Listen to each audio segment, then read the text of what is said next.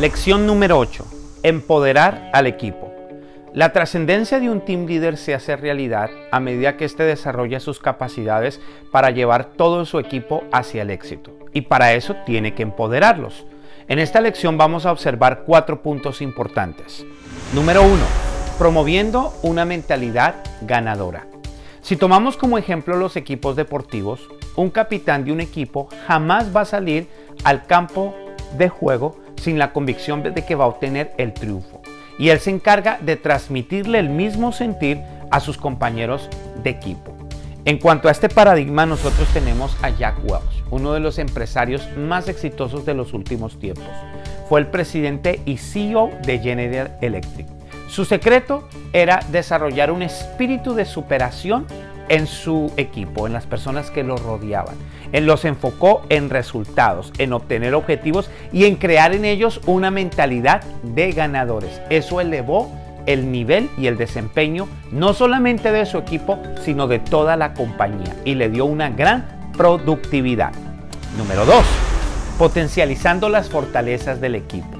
Entonces, las fortalezas de una persona son aquellas capacidades y habilidades que lo distinguen de los demás. El team leader tiene que identificarlas, tiene que potencializarlas para que los miembros de su equipo se desarrollen, se autorrealicen.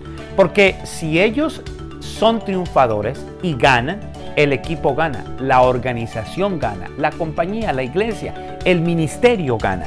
En este caso tenemos a Bob Chapman, que es uno de los empresarios más exitosos de los últimos tiempos, CEO de Barry Wetmiller él se, ha, él se ha enfocado precisamente en potencializar las habilidades y capacidades de su equipo, en desarrollarlos, en darle oportunidades para que ellos crezcan y obtengan el éxito, porque él ha entendido que si ellos obtienen el éxito, entonces el equipo gana. Y si el equipo gana, la organización también gana. Número 3. Lidiando con las debilidades del equipo.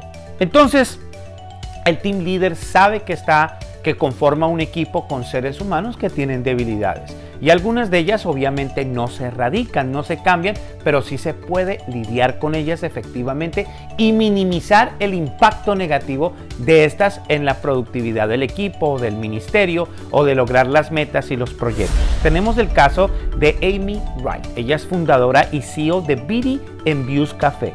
En este momento ella emplea y lidera un equipo de 40 personas con discapacidades y retraso mental, tales como síndrome de Down, parálisis cerebral, autismo. Lo interesante de esto es que ellos a la hora de atender a los clientes cumplen el mismo tiempo y el mismo desempeño que las personas comunes y corrientes.